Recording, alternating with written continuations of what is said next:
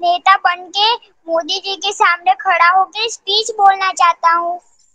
अरे वाह very good पड़ेगा। तो आप आप आप नेता बन के भी स्पीच दे सकते हैं आप आप आईएएस अफसर भी बनके सेना के अंदर आप कर्नल बन के भी दे सकते हैं अच्छे डॉक्टर बन के भी दे सकते हैं अच्छे अच्छे आई बन के भी दे सकते हैं अच्छे बिजनेसमैन बनकर भी आप दे सकते हैं।